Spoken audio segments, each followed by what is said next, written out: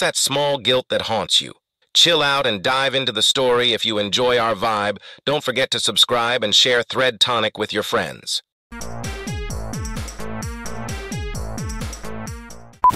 Count 1. I remember my grandfather died when I was seven. My grandmother took it horribly. She fell ill during the funeral and ended up puking in the pews. My family had to leave a few days after the funeral. So my parents told me and my brother to say goodbye to Grandma. We went up to her room and saw her lying in bed, so I thought she was sleeping and said nothing. A few hours later on the drive home, we get a call and hear she was hospitalized and died later that night. And I feel horrible because I never said goodbye to her when I had the chance. Account 2. I was not there for my first dog's final moments. She was the family dog, and at 11 years old she was getting sicker by the day. Based on how she was acting and breathing, I had a feeling that she was in her final day.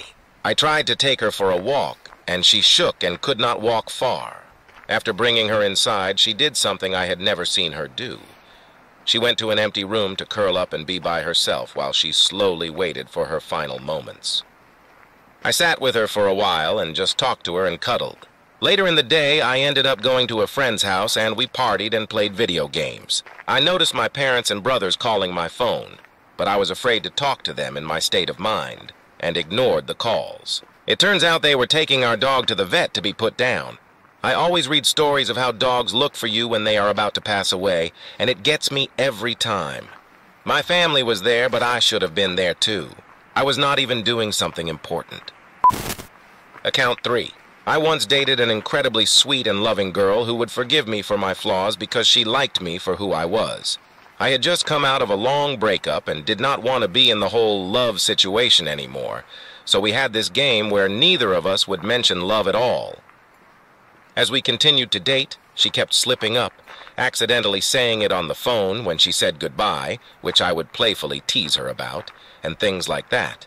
After many months of dating and blissful fun with no fighting, I cheated on her. I had been trying to convince myself that we were over and it was not going to work out because there was no love. In reality, I loved her dearly and was afraid to admit it to myself. She loved me and was struggling to keep up the game. We never reconciled. I broke her heart. 4. A mom who just lost my mom in June. My boys are 3 and 7, and they talk so plainly about her passing, it does get to be a bit much sometimes. Grandma is dead, she is in the cemetery. Last year we did with Grandma, but she is dead now. I always respond with a yes, but we still love her and remember her. Two weeks ago, we visited her and I just lost it unexpectedly. I had been feeling pretty good for a while, otherwise I would not have taken them by myself. On the way home, as I'm crying, my three-year-old is saying, It's okay, Mom. I love Grandma. You love Grandma. She is in our heads. Memories. It was so sweet to hear him repeating back what I had said to him. It made up for how difficult the frank conversations with them had been. This is way longer than I meant, and I am pretty sure my first Reddit post. Just wanted to say, you handled it the way any kid does. I am sure your dad knew that at the time as well. Count 5. One of my earliest memories is when I said to my parents, I love mommy more than daddy. I think I was trying to express that I felt closer to my mom as she was the one who stayed home to take care of me while my father worked. My mom quickly told me that that was not nice to say. She did not need to. I could tell by the crushed look on his face. I sometimes wonder if he remembers that day like I do. I want to tell him it is not true. Count 6. I feel bad for my sister. Her kid is always like shrieking, no, mommy! Daddy, daddy, daddy, daddy! No, mommy, I want daddy! I feel so bad for my sister watching all that when all she is doing is taking her out of the car seat or changing her diaper. Account 7. My son is like, I love daddy more than mommy. We are both work-at-home parents, so I figured the battleground was pretty even. Though I guess two-year-old me would not see, here's a cookie, Dad, and finish your lunch, Mom, in the same perspective. Account 8. He stood there in that elevator, waiting through the floors for about 10 minutes. He did not know why he did not just get out the second he realized what I thought. Inside the box had done, but he wished he did. Maybe he could have taken the stairs sooner. Maybe he could have earned some time. When he decided to do so, it was too late. His phone rang as he was going down a flight of stairs. Hello? Dad. It was his daughter. He could feel the quiet desperation in her voice. She had been crying. It is your grandson, Jim. There has been an accident. I'm at the hospital. Could you please come over as soon as you could? At that moment, it felt like the weight of the world had been dropped upon the old man's shoulder. Under his breath, he cursed, I thought, inside the box. He could not possibly walk through five flights of stairs. He is not as young as he once was, but his anger was quickly extinguished by thoughts of his grandson. He was only four, after all. He remembered the time when little Jimmy plopped onto his lap one December morning, his blond hair slightly obscuring his bright blue eyes. He lost a tooth that year after a nasty trip, but he was still smiling from ear to ear, as always, telling the old man how all he wanted was for Grandma to bake cookies for him again, how he missed her. After all, he said he had not seen her since he saw her sleeping in a box. That thought of his grandson allowed him the strength to walk through all those stairs. Pushing through the pain, he finally reached the ground floor. Walking out those doors to fetch a cab was both physically and mentally draining, but he had to. Jimmy was counting on him. What occurred at the hospital to him was hazy. He could remember people talking about cars. Then they talked about surgery. Then complications. Then the pain came. So much pain. It lasted years. Nothing alleviated the pain. No alcohol, no drugs, no gambling. They told him Jimmy was conscious for a few seconds. He asked, Is Grandpa here? The old man's final thoughts as he pulled the trigger was, I miss you, Jimbo. Grandpa is coming. Account 9. Well, how's this? I grew up in Chicago, where there was an incredibly crazy old lady who was a total bitch to all the neighborhood kids. One winter it snowed a spectacular snowfall. So I begged my mom to let me go outside and play with some friends outside my apartment, where the snow plows had put up two huge piles of snow.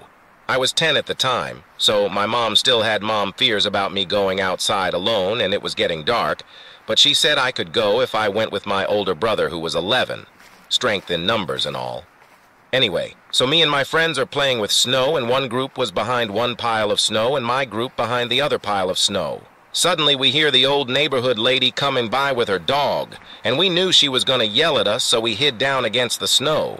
My friend hands me a piece of ice and dares me to throw it just to scare her. I'm tentative, knowing I could actually hit her since I couldn't actually see her, but I give in to peer pressure and throw it, and I hear a drop.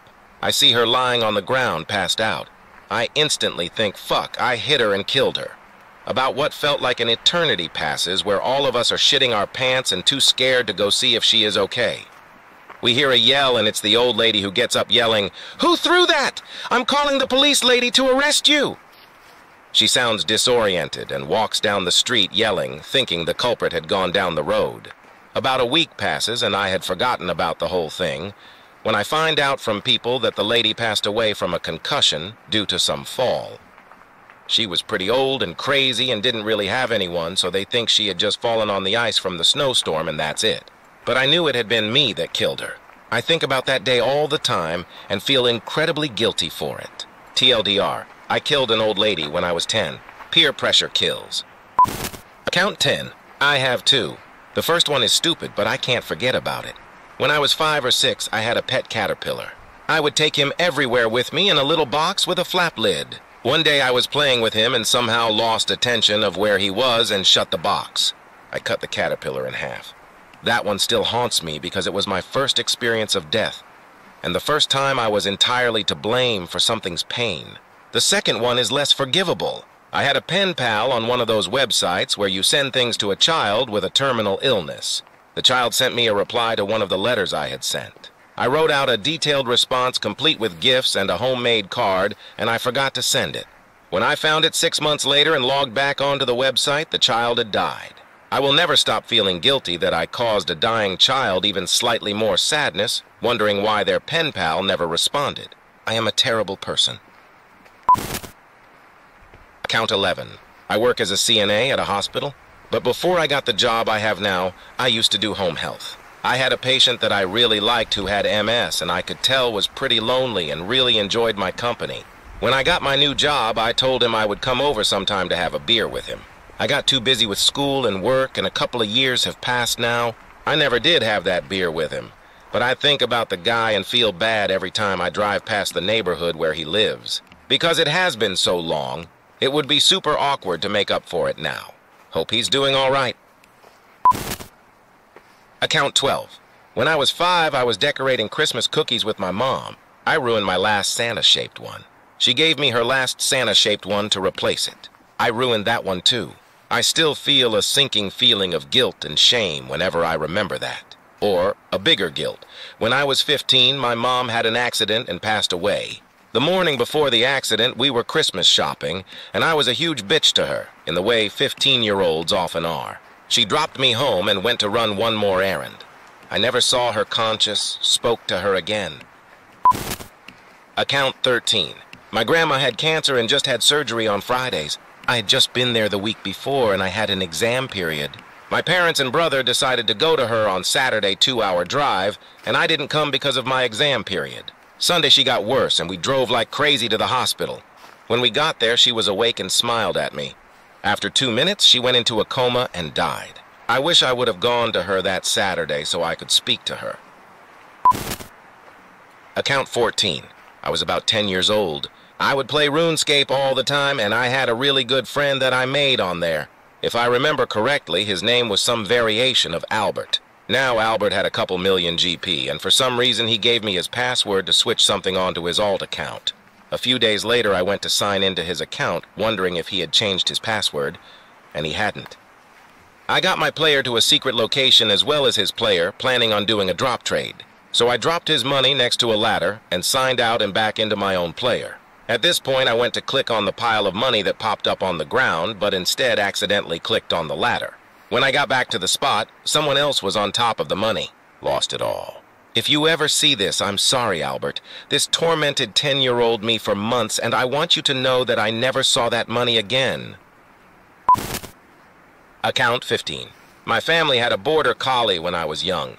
He ended up being very aggressive as he got older, and after sending me to the ER one day, we had to get rid of him. My first guilt is that I knew if he bit one more person, we would have to send him away. He had already bitten my mom, sisters, and a neighbor. My dad and I loved him, though, and continued to try to work with him. He was very bonded to both of us, and I never thought he'd ever do the same to me as he had to other people. I was being stupid and grabbed at his bone when he was chewing on it. He bit me, and then I saw the immediate regret in his eyes. I clasped my hand and tried not to cry so my parents wouldn't know he bit me. I finally looked down at it, though, and saw lots of blood and immediately began crying. We finally found a home for him through a rescue organization, and the only time we could drop him off was while we were all visiting my grandparents out of state. My dad would leave early to bring the dog to the farm. When he asked me to come with him, I was in a bad mood, and all I wanted was to stay with my mom. He left and took Buddy to his new home, and I never got to say goodbye. It still makes me feel horrible to this day. If I hadn't tried to take his bone, he never would have bit me. And I never even said goodbye to my best friend, all because I was a little cranky. I'm sure he's living a happy life now, though. He herds geese off of farms and airport runways. Who could ask for more than that? Edit. So many of you are saying he was actually put down, but he actually was sent to a farm and he actually travels around with his owner to herd geese away from other farms and airports. I sat through phone calls with my dad with the rescue organization that specifically rehomes border collies. The jokes are not appreciated. 16. The first time I saw my dad for eight or so years, he took my sibling and me to Paris. I remember getting into a really stupid argument regarding something as trivial as what we were going to eat. Anyway, being the little shit I can be, I obliterated him with some words, bringing out the you don't really know me card. This is all to a person who moved to a country to take care of his parents, is literally alone, except for the two weeks a year I do get to see him. Anyway, the point is I'll never live that moment down. Count 17. I was working at a homeless shelter food pantry at a nearby church, handing out cans of soup that had been donated. We get a lot of people who don't speak much English, and I was doing my best to figure out what they were asking for. So I'm handing out the cans, and a small Asian woman approaches me and says, Milk? I later figured out she was asking for milk, but I wasn't thinking straight at the time. She points to a box of potato leek soup and once again asks, Milk? Not knowing what she was saying, I slowly said, Yes, milk. She looked at me and grabbed the box of soup, thinking it was milk. I later realized this woman probably didn't have much in life and walked away with something completely different than she wanted. I still feel bad for the stupid mistake I made. Account 18. This haunts me. When I was eight, I had this hamster named Hamtaro because I was a creative little thing. I got the hamster several days after my dog got killed by a truck on New Year's Day. So we went to Mexico for Christmas, 1.5 weeks, maybe only one week, and Hamtaro in his cage had this little external cage that holds food. Before we left, I filled up his water bottle. It lasts a very long time in his little food cage. For those of you ignorant of hamster cage anatomies, they have lots of holes to connect tubes or compartments for whatever. Picture so the food thing had this little slider between the cage and the food compartment, I guess, so your hamster doesn't try to get into the food bucket when you're refilling the food and get stuck in a hamster food avalanche. So I fed my hamster the morning before we left and had a wonderful Mexican Christmas. I get back, and Hamtaro is lying dead in the middle of his cage, his food untouched, and I realized I had not flipped the slider back for his food compartment. He wasn't able to get to his food. He suffered. He saw his food, but couldn't quite reach, and slowly starved to death. I was a terrible murderer at eight years old. TLDR, accidentally but maliciously starved my hamster to death while on vacation.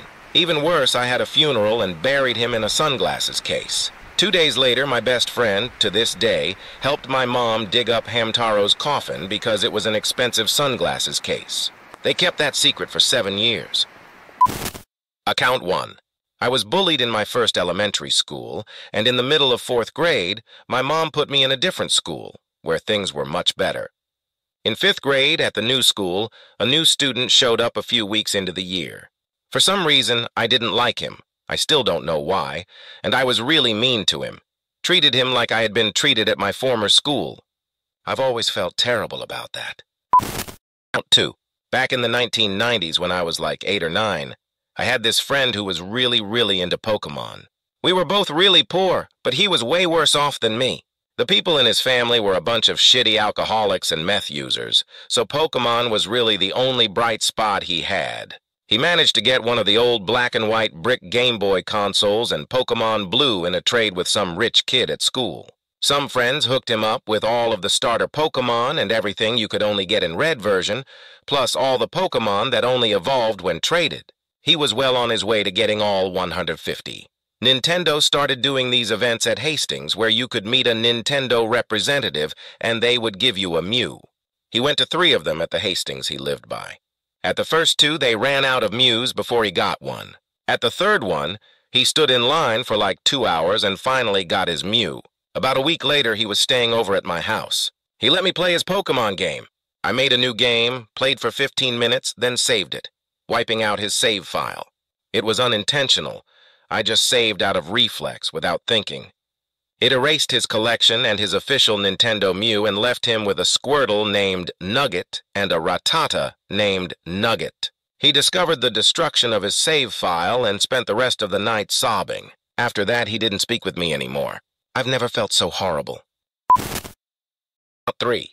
When I was 10, a friend and I were horsing around Pier 1 Imports while my mom was shopping.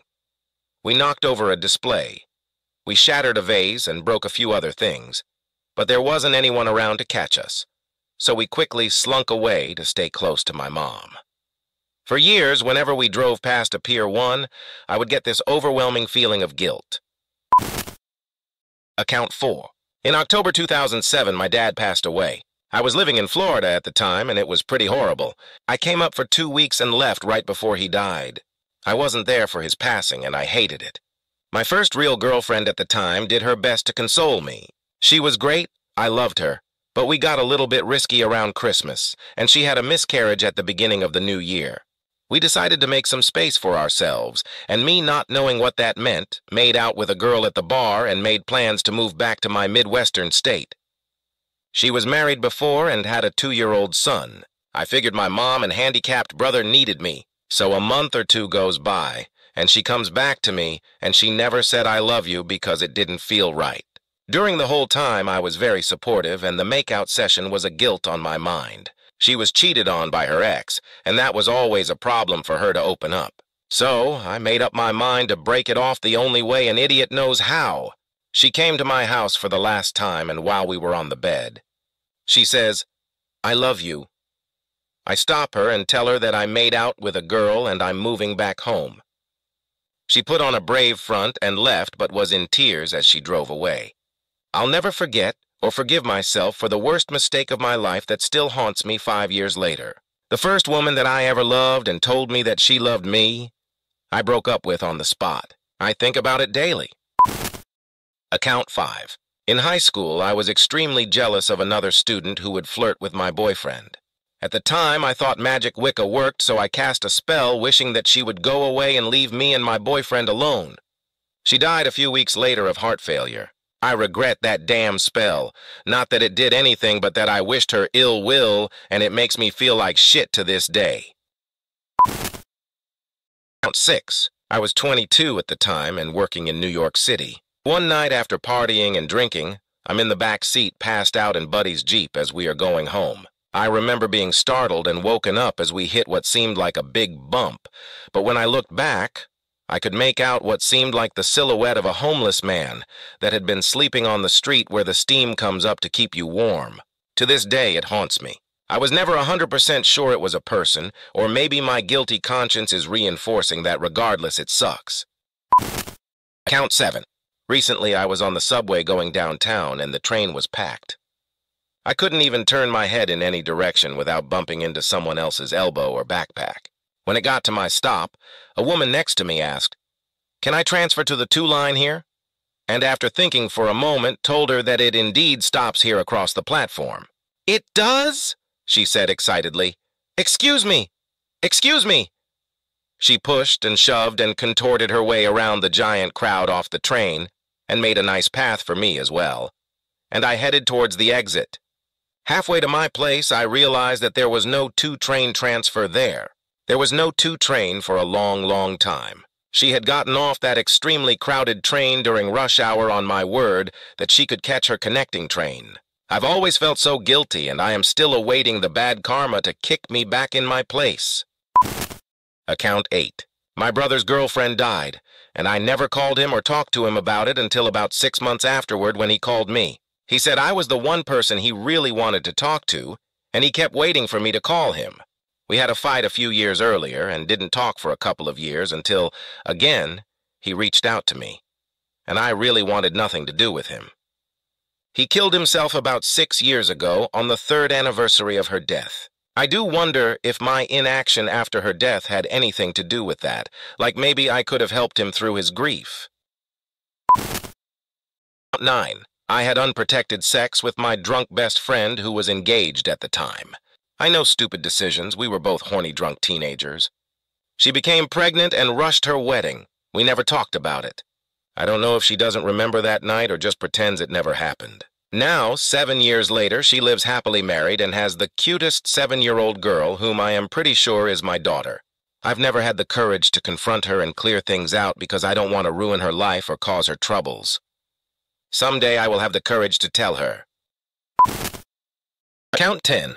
My mother had been trying to call me constantly in April to wish me happy birthday. I ignored it because she was schizophrenic, and it hurt me too much to talk to her. My dad and I had to fly up to Colorado to pull the plug on her in May because she had liver disease. She knew she was dying and just wanted to talk to me. I ignored her, every single time. 11. When I was younger, my siblings and I would visit our great-grandparents almost every day. It was hard to say goodbye to my grandfather because he was losing his mind and had trouble remembering our names. I decided to just jump in the car without saying goodbye, because I would see him soon anyway. He died two days later. It's been years, but I really do regret it.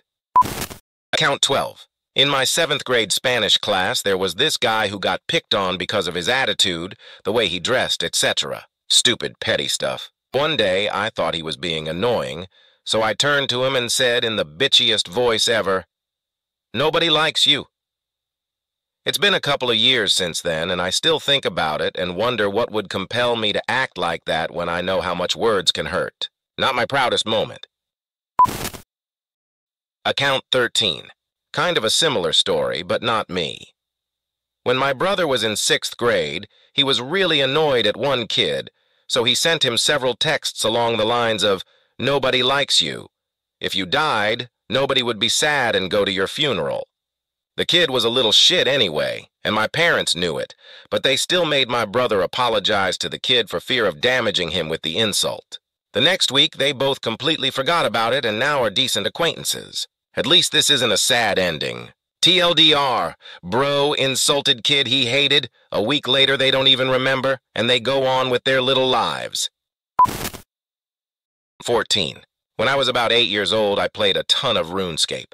My friend told me about a website where you fill in ads to get RuneScape membership. Immediately, I began filling them out, but I found out I could only get minimal stuff without putting in a credit card number. Because of that, I went and found my mom's credit card and would put it into many websites to get RuneScape membership. I didn't think it made a difference and thought I was getting free membership and all was good. However, soon after my mom freaked out because she had a ton of debt on her credit card and we started getting a bunch of random shit coming to our house like hair products and telephones, etc. Because of this and other things, we could not make the deposit for the house and were kicked out. We're still staying in the apartment that we moved to after getting kicked out. I still haven't confessed to my mom about what happened. She thinks it was a keylogger that got her credit card number. Account 15. When I was 14, I went on a trip to New York City with my school. We had some free time in Times Square, so I went around taking pictures with all the people in costumes. I didn't tip anyone. Now I'm worried I put the naked cowboy out of business. Account 16. This may get buried and it's a little depressing. Long story short, I used to work at a petting zoo with an older woman who I became friends with and would go horseback riding with. I was 15, she was in her late 40s, one day my aunt invited me to go see Disney on ice with her and my cousins. I told my friend that I wouldn't be able to work that night, and she said that wouldn't be a problem, so I called my parents to come pick me up. Once they got there, my friend gave me a stuffed horse I had been looking at and told me to have a good time. And as I walked out, she said goodbye. Now that doesn't seem like much, but I thought it was kind of strange as we normally just say, see you later or just plain bye.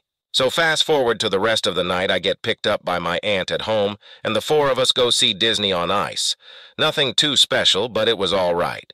However, I get dropped off at home, and as soon as I walk in, I see my mom sitting on the couch crying, and I immediately feel shaky and worried. It turns out while I was out at the show, my friend had committed suicide. I found out a couple of days later that she was bipolar, had financial and family issues, and had also attempted suicide before. I know it's not my fault and that there's nothing I could have done, but I wonder if I had stayed, maybe she wouldn't have tried that night and I could have had more time to learn from an awesome lady. Account 17. Even now, as a teenager, I am tempted to stave off the visits to my great-grandmother. It's easy enough, two essays, a shit ton of math, but I realize that that is a terrible idea.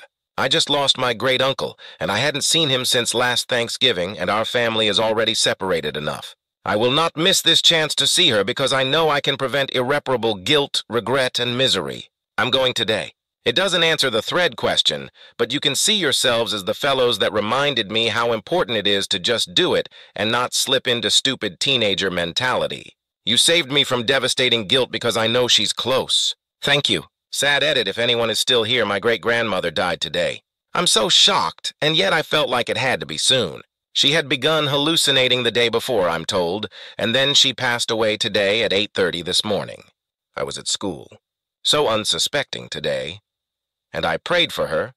I go to a Catholic school where we can add intentions in our prayers, never once imagining that it was over before I even said the words. I am immensely glad that I saw her when I did and did not tarry, as my first response might have been. R.I.P. Grandma. 1917-2012. Count 18. I stole $20 from my mom's purse a little over three years ago. I was a raging bulimic and needed money for my fix, food. As far as I know, she didn't notice because she had a lot of cash in her wallet at the time. About six months after I went into treatment, and I have been doing great now for a really long time. I still feel guilty about it, though. Yes, I had a mental illness, but I still knew it was wrong and was so messed up I didn't even care. I've been considering returning the money and writing my mom a note fessing up to the situation and telling her how sorry I am, but at this point she's so proud of me and how well I've done, I don't know if it would just hurt her more to know that I went that far. My parents did a lot for me to help, and I did a lot of crappy things during that time to my whole family, but that is one they still don't know about. Account 1. Almost a decade ago, I moved in with my, at the time, fiancé and his three-year-old daughter. It was shortly before Christmas, and I wanted to clean up a little bit in the den so we could get the decorations out. I grabbed the nearest trash bag and started filling it with my fiance's trash. The next day, while his daughter was at preschool, my fiance comes to me and asks me where the presents are. Confused, I tell him the only thing I had done the day before was clean. Heart sinking, he goes running out to the road and rescues the bag he had put all her presents in moments before the trash men went to take it away. Thankfully, I hadn't put anything too disgusting in it, and we managed to clean off the toys and wrap them. Three days later was Christmas, and my fiancé and I had gotten over our little fit about whose fault it was, and we were enjoying his daughter opening presents. That is, until she stopped and looked up at her father and said, Daddy, why did Santa bring me an old French fry? I burst into laughter and said it must have fallen in there while he was eating dinner while delivering presents, and quickly disposed of the incriminating evidence. After she'd gone to play, the entire family had a good laugh, and I haven't been able to live it down since. Every year they retell the story with some crazy variation, but it's all in good fun. TLDR. I accidentally led my stepdaughter to believe that Santa gave her a moldy French fry. Account 2. When I was about four, it was my great-grandmother's 100th birthday. My mom made me and my sister make her some homemade birthday cards with our pictures in them. We went to her nursing home and met her, but I refused to give her my card because I liked it so much. She died a few years later, and I have always felt really bad. Account 3. I'm 20 now. When I was about 10 years old, I brought some frogs home from the pet store. When I opened the bag, I accidentally decapitated one of the frogs. Ten years later, and I still feel horrible. I'm a vegetarian now, too. I always loved animals. But I think that incident really sealed the deal for me. Account 4. I apologize for the length of this. It's probably my most and least favorite story to share, and it took me way longer than it should have to type. So I hope you read it. My grandfather was my best friend. I had been homeschooled for a while, so at least two or three days a week I spent at his house. We used to practice how strong our handshakes could be on each other, and he would almost always win. He taught me almost everything I know. We built an entire train town together in his basement. We were so close. There was one issue. He had recurring melanoma, really fast and unexpected. In August, he was fine, his regular self. Come the next month, he was hospitalized, grasping for life. Being the stupid teenager I was, I figured it was the best course of action for me to just stop seeing him. I would let it happen without any knowledge and keep the great memories that I had of him. Fast forward to November. I had received an email and numerous calls from him, none of which I had responded to. I hadn't been to his house or even seen him in three months. He was dying quickly, and I didn't want any part of it. At this point, he's in the hospital and asleep most of the time. He's lost all muscle mass, and the only hairs left on his head are the white ones. My older sister came back up to New York from Kentucky for him, so I finally gave in to go see him, and it was every bit as horrible as I imagined. Everyone around was trying to say their goodbyes, and I sat on the edge of the room trying to avoid any interaction. And for everyone else, it was a one-way conversation. He had no spare energy. My sister, his oldest grandchild, takes her turn, and he opens his eyes to see her. This is a big deal. I'm the only one left, and I don't have any other choice. I go to his side and hold his hand, and I say, Grandpa, I'm here. It's Ted. I can barely contain myself. I didn't want to be there, and I didn't want to see him like that. Slowly, but deliberately, he repeats my name in a quiet whisper and cracks the faintest smile, squeezes my hand with the tiny amount of energy he had left, and falls back into sleep. After that, nobody wanted to be there anymore, so we left. And my sister and two of my other siblings decided to use the time my sister had home to have fun, get our minds off of it, and go see Casino Royale. The movie ended at about 1 a.m., and when we got out, my sister had a voicemail. Grandpa had died during the movie. Since then, I haven't been able to watch that movie, and I've tried to watch the newer ones, but I just can't bring myself to. My guilt is that I'll always wonder if I had not been such an ass and gone to see him earlier, would I have been able to spare the most important friend I could ever have months of pain and suffering? Count 5. When I lived in Costa Rica, I visited this really old-school second-generation Chinese guy for acupuncture therapy. In the States, I paid up to $125 a session, and this guy only charged me $7. Needless to say, I went to him a couple of times a week. After each session, I offered to pay him, but he always refused and told me to wait until the treatment is over. And then I moved back to the U.S. without realizing that I forgot to pay him until months later. That was back in 2007. This summer, I am going back to pay him, with interest. Account 6. I played really rough with my brother's turtle he got for his birthday, I believe, and accidentally killed it. It wasn't eating, and he'd just lay around not moving much, and so I figured if I played with him, it might get him moving. I started throwing him into a pile of blankets, and one time I missed, and the little guy started bleeding from the mouth and later died. To this day, I feel like absolute shit about it. My brother was just a little kid, and I killed his present. 7. Yes. This seems so small to people, but I guess that's what this thread is about. I was 11 or 12 on a camping trip. I was learning fishing for the first time, and we were hooking worms up to the line. Don't ask me why I did this, but I took a worm and I just dropped it into the lake. I watched it sink to the bottom, and I remember being frozen with guilt. Why did I just do that? Something so tiny, so helpless, for no reason at all. I know I was going to hook it to the line, but at least that way there was a purpose for its death. Fast forward 10 years, and I'm very proactive at my local animal shelter, thanks to a fucking worm that made me feel like shit. TLDR, dropped worm in lake, now volunteer at animal shelter. Account 8. When I was younger, 8, I think, I had a golden retriever dog that had developed cancer in his left paw. He was literally my best friend. We went everywhere together, and I used to sit and talk to him like he was my brother. He really was one of those dogs that's just part of the family. Never, ever did anything wrong, snuggled up to you when you were sad. He was perfect. We taught him lots of tricks. My favorite of his, jump. He'd rear up on his hind legs and land, smiling. One day after the cancer had set in, I told him to jump. I don't know why. I just used to love it when he did. And I hadn't seen him do it since my mom had told me he wasn't allowed to anymore. I didn't understand why. And ever faithful, he did the trick. The tumor in his paw had weakened the bone. When he landed, he broke his front leg, and the bone came out of the side. He howled and cried. Blood was everywhere. I will never forget the sight of my kitchen floor covered in blood with my family crowded around my best friend, who was whimpering quietly. We drove to the vet to have him put down. He was six. I cried as his breathing grew heavy, and he left me. Why did I make him do the trick? I know his time was coming, but it didn't have to be that day. It didn't have to be so bloody. TLDR, I shortened the life of my terminally ill dog. Account 9. Twenty years ago, I was at a middle school dance having a fairly good time. A girl I sort of knew asked me if I wanted to dance, and I declined. I didn't feel like dancing. It had nothing to do with her personally. I just didn't feel like dancing at that moment. Later that night, while trying to fall asleep, it dawned on me how she must have taken it. Like I said, no thanks, because of her looks or something. It also occurred to me how much courage it took her to ask someone she hardly knew. I certainly wouldn't have had the balls to ask her to dance at that age.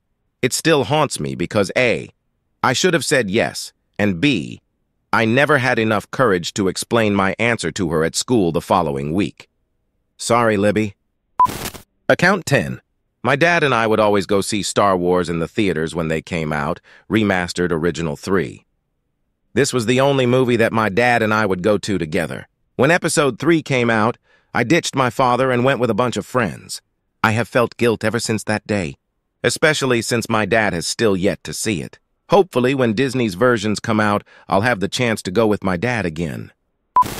Account 11. OP, you shouldn't feel bad. You made that kid's day so many times. He probably knew that you had to support yourself. He already liked you a lot. Don't think of the negative. Think of all the positive things you did towards him that impacted his life. Account 12. I found a dog. A red Welsh something, beautiful dog, red fur. His name was Al. He had a collar but no contact information. I gave him food and petted him, then sent him on his way, convincing myself he had a home to go back to and he had the way back. I found him a day later bleeding in a gutter. He'd been hit by a car and dragged there. The person had dragged him there while he was still alive. He had just enough energy to wag his tail at me before he died. I buried him, but I can't help but think it's my fault. A few days after, I found the ad for a lost dog. Red coat, responding to the name of Al. Account 13. Simply put, I feel guilty for my sister's death. She died in 1997. She was two going on three on January 1st. Two days after Thanksgiving, I was only seven, but I feel like if I had been a better big brother, it wouldn't have happened. She died of lead poisoning, which apparently lined the walls of our apartment. My mom would tell us to make her spit out the rocks. We didn't know it was lead, at least I didn't, and to go in their mouths if you have to and take them out, which we did. Except a few times when I was too busy to care. I could see her eating them in the reflection of the TV, but I just thought, it's just a rock, no harm. While yes, you could say I really didn't have much to do with her death. I feel that had I been a better big brother, she might still be here. Sadly enough, my second sister to die was only 15, passed away two weeks before the start of my sophomore year in college in 2009. I wasn't there. I was 2,000 miles away because I was afraid and felt that it was also my fault. She had a disease that there isn't really a cure for, except for a full bone marrow transplant. With the best possible match being me, out of the seven billion humans on Earth, I was her best hope. Well, the disease she had caused her many pains, and she suffered a great deal, having multiple surgeries and many of her organs starting to fail before the end. She couldn't absorb calories for about three or four months before, and had to have them pumped into her. One of her kidneys was full of stones and had to be removed. Likewise, so did her gallbladder. The disease would often be accompanied by random pain some days. She'd scream her back hurt and other things among that.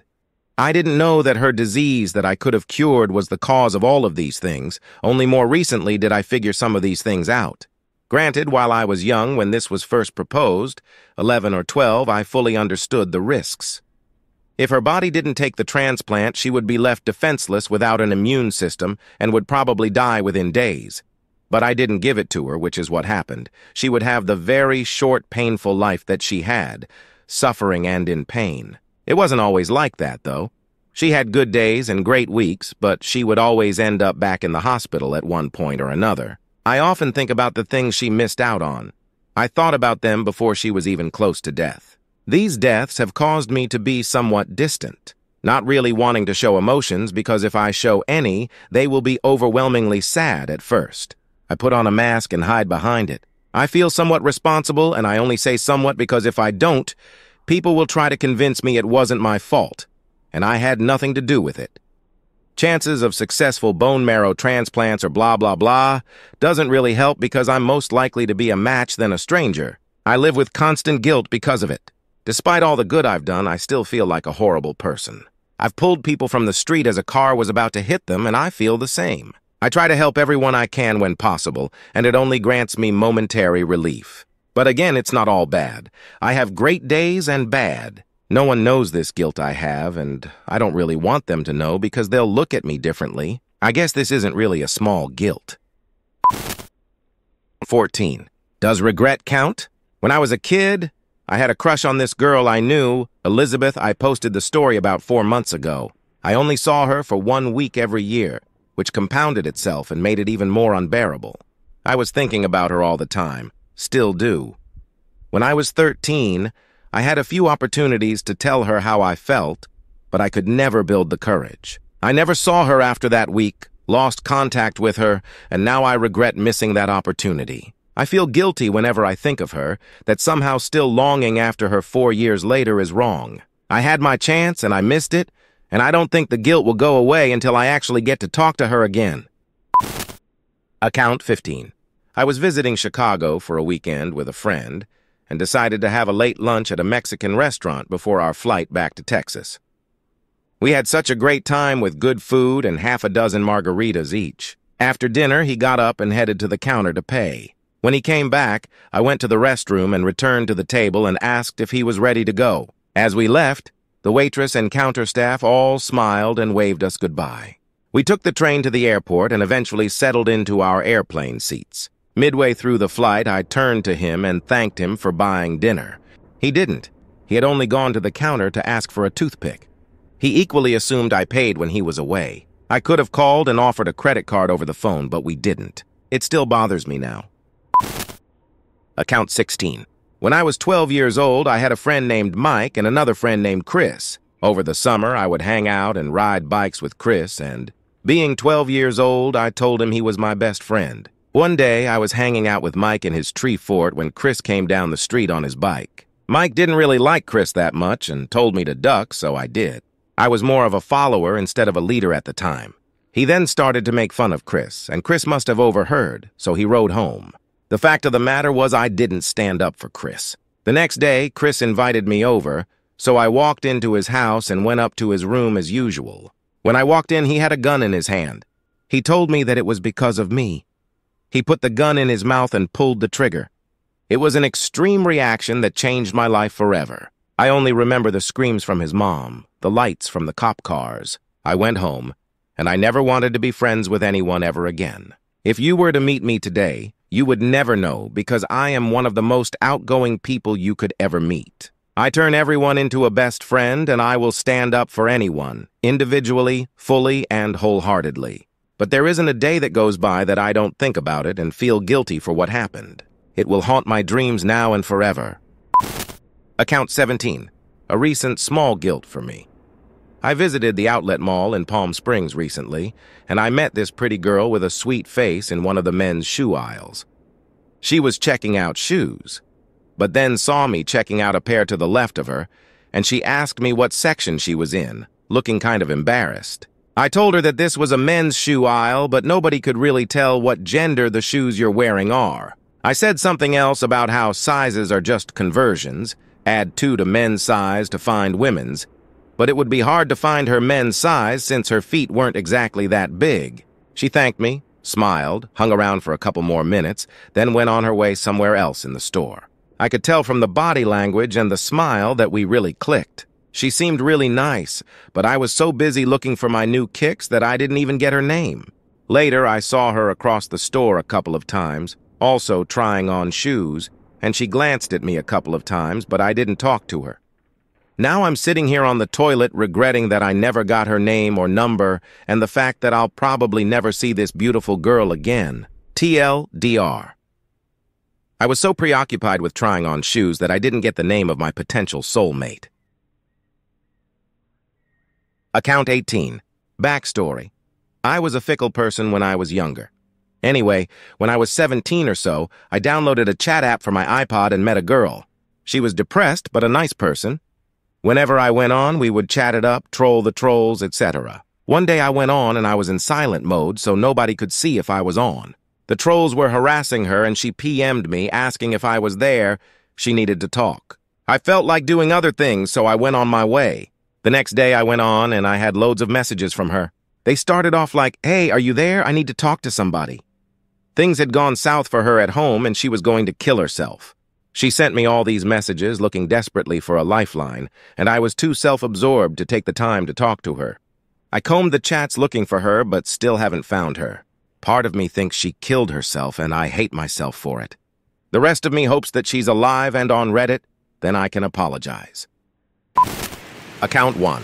My family bought a new dog when I was in kindergarten. It was a beagle, and I loved her. We had a fenced-in backyard, so my brother and I played with her often, running around and such. When we moved to a new house in fourth grade without a fenced yard, we started chaining her outside just to go to the bathroom. As I got older into my teens, I played with her less and less, and no one took her out for walks anymore. She gained a lot of weight, developed hip problems, and eventually got sick. We had to put her down when I was in 11th grade.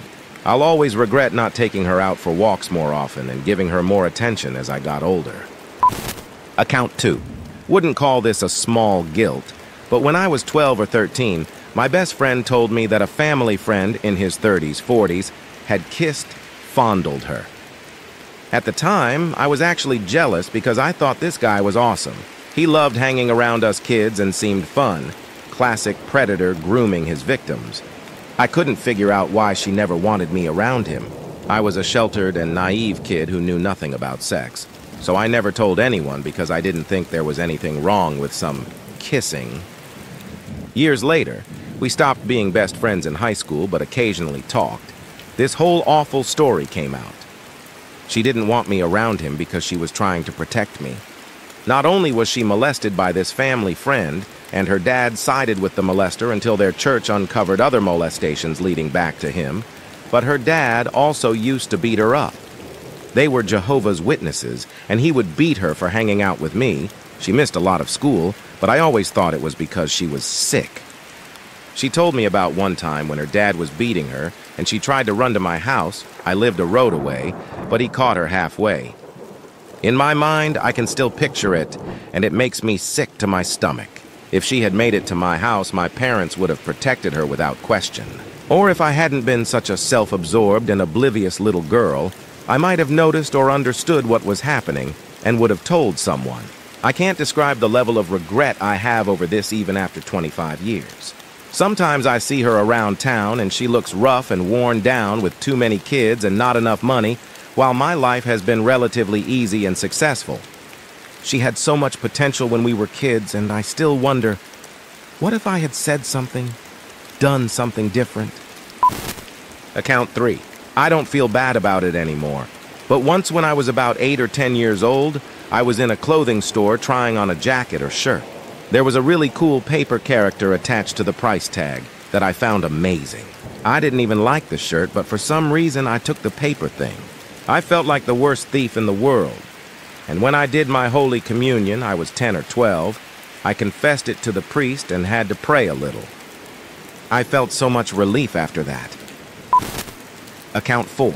A girl I really liked in high school gave me her number so I could call her if I ever felt alone during an existential crisis. The only time I dialed her number was on her birthday. I planned to tell her that I loved her and that even if she didn't love me back, just knowing that someone as wonderful as her existed gave me hope that things wouldn't be so bad.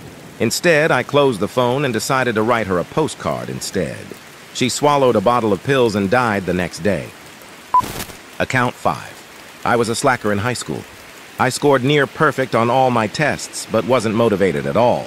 I felt like I was too smart to be bothered with school. Anyway, I won something called the National Merit Scholarship, which signifies that I was in the top 0.1% of SAT scores or something like that. I hate awards, and my mom was so proud, but I shrugged it off. There was an awards night at school where people got cum laude ribbons and such. I was essentially failing and bitter about it, and I didn't want to be around all those motivated kids. I told my mom they wouldn't mention me, that I wasn't important enough, so we didn't go. It turns out they had a special ceremony for me, and I wasn't there. The NMS is a big deal, apparently, but there was just an empty stage. When I told my mom, she broke down crying. I hugged her, and she sobbed into my shoulder, saying, I just want a chance to be proud of you. That's when I realized how much my too cool for school attitude was hurting her. She wanted a son she could go to ceremonies for, see happy about his college acceptance letter, and play sports. Instead, she got a kid who acted like an adult by the time he was 10, stayed in and read philosophy instead of playing sports, and didn't care about the little things that make a mother happy. I never needed her, and I realized then how cruel that was. It was the first time I ever made my mom cry, and I felt terrible. Account 6. I'm currently away from home at college, but the last time I was home for Thanksgiving break, I was playing with one of my dogs in the living room, playing fetch with her favorite toy.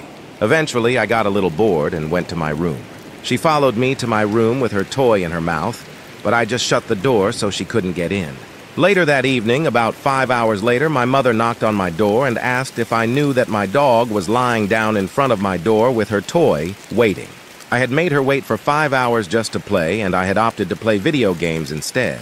I played with her for a few hours after that, but I still feel terrible about it, even to this day while I'm at school and really miss my dogs. Account 7. When my son was about three months old, he was napping in a little vibrating bouncy seat. I was cleaning and talking to my mother on the phone when he woke up crying. I started making a bottle, and as I was shaking it, I realized I had left the sliding glass door to the balcony open.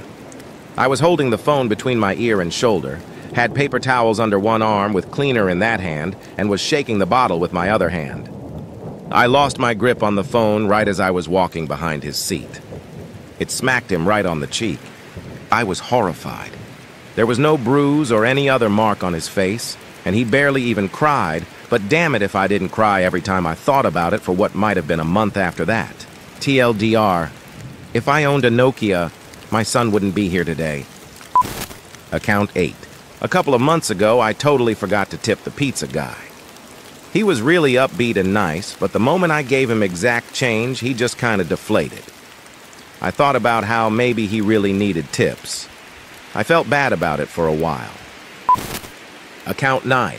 Guilt. I'd be the happiest person if there were a way to burn out all the guilt. Here's the latest leech clinging to my conscience. Four days ago, I made out with a buddy of mine's ex-girlfriend, who he had a very long history with. Not going to get into details, but lots of stuff went down.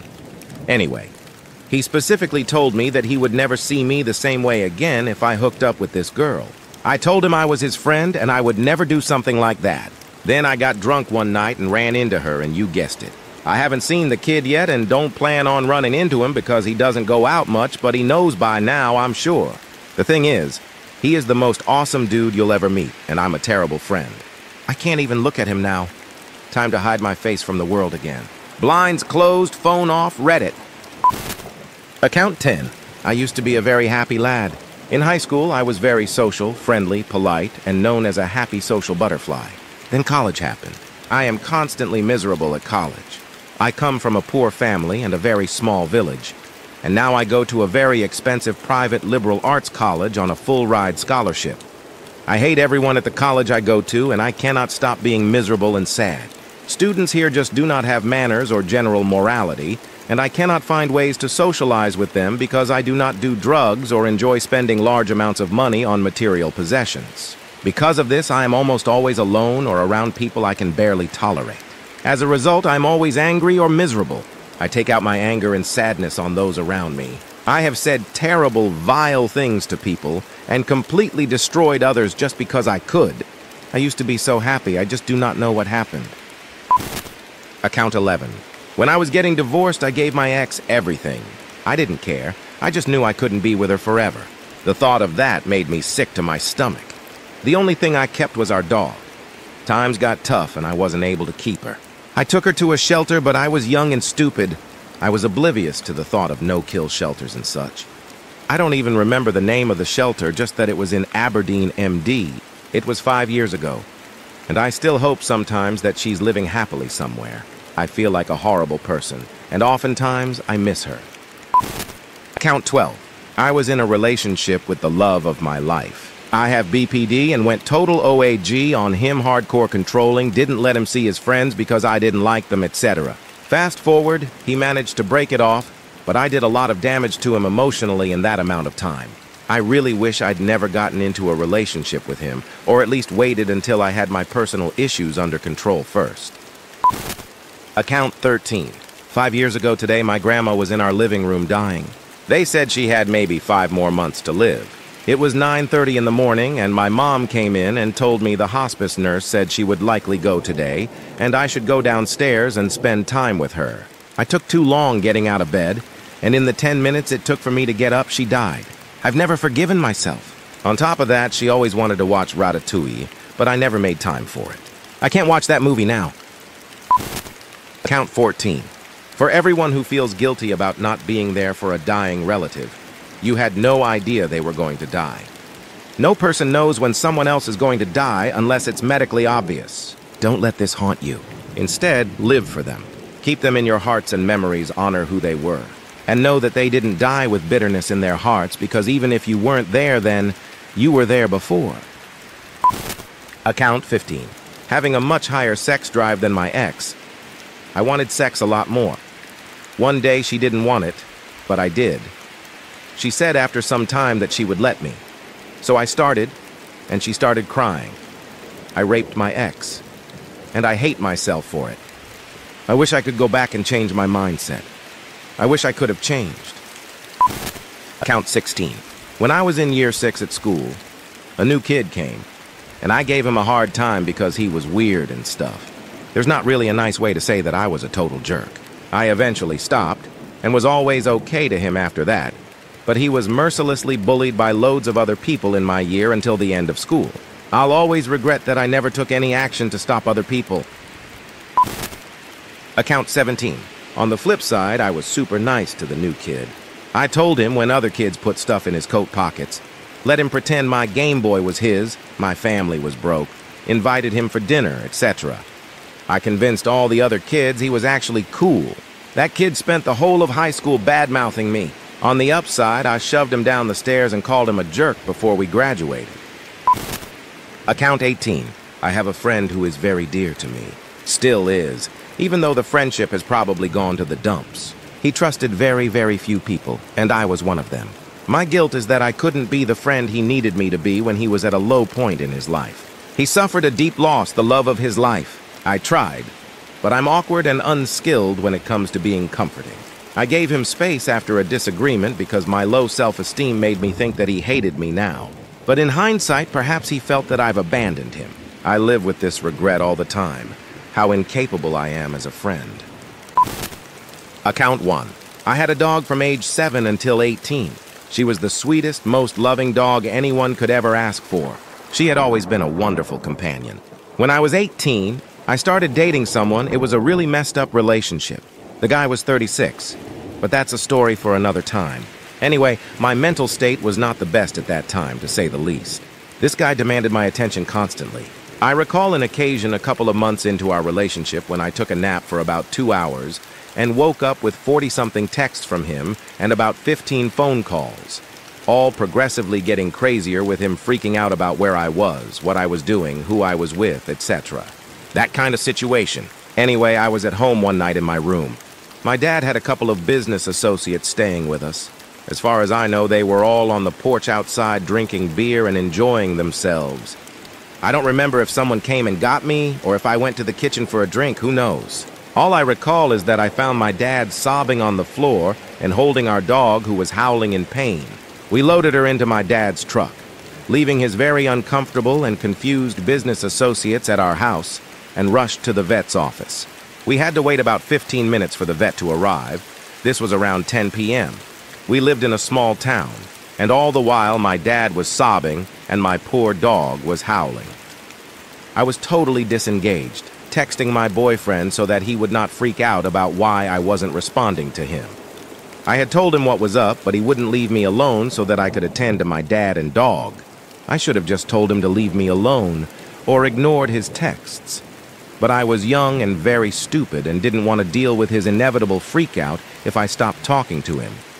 My dog was euthanized that night. Her kidneys had failed beyond the point of repair. The fact that she was dead and that I was not there to comfort her and my dad in her final hours like I should have been didn't sink in for me for about a year. I still feel like total crap about that. I desperately wish I could get a do-over for that. Count 2. In grade 7, a friend of mine had rescued an injured squirrel. He fed the squirrel acorns. I passed by an acorn nut tree on the way to school, and I promised him I would bring him some acorns. I never brought him acorns. It's been seven years. I still think about it. Account 3. My parents had gotten divorced and I was living with my mom. Times were extremely tough. I was really, really verbally abusive, especially for a seven-year-old. I would yell things like, I hate you, leave me at dad's, you piece of crap, I hate you. I always felt bad for her and couldn't understand why I felt the need to do these things, but it almost felt uncontrollable when I got these instances of rage. I pushed her once and she smacked me. It was not a real smack, more like she shoved my face away as I was trying to push her. It didn't hurt at all, not in the least bit. At the time, I was getting regular, really bad nosebleeds, sometimes just from sniffing too hard. My mom knew this, but when my nose started bleeding, she just looked at me in shock and walked to a chair and sat down. I walked away content with myself for showing her, but the next four hours when I came out, she was sitting in the same chair crying. I didn't say a word to her, and she enrolled us in therapy the next week and talked to the counselor privately. I'm sure blaming herself for my abuse, while the counselor would say things like, I just can't see how such a sweet girl with such sweet blue eyes could ever raise her voice to me. I still feel sick over that. 4. When I was a kid, I asked my mom if someone dialed 911 from a payphone, would they still need to pay? She didn't know, and no other adult that I asked afterwards knew either. A few days later, we were sorting through donated clothes for charity, so I picked up a payphone to call 911. It rang, someone answered, and I immediately hung up. Fifteen minutes later, a cop shows up and discovered that I called it, someone saw me on the phone. I explained to the cop that I wanted to test to make sure it worked if I ever needed to call 911 for real. The cop proceeded to scold me, and I felt guilty as heck.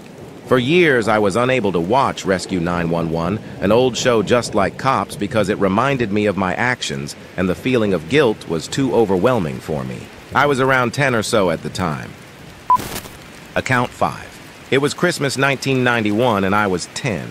My single mom bought me a cat as my present that year, my first pet.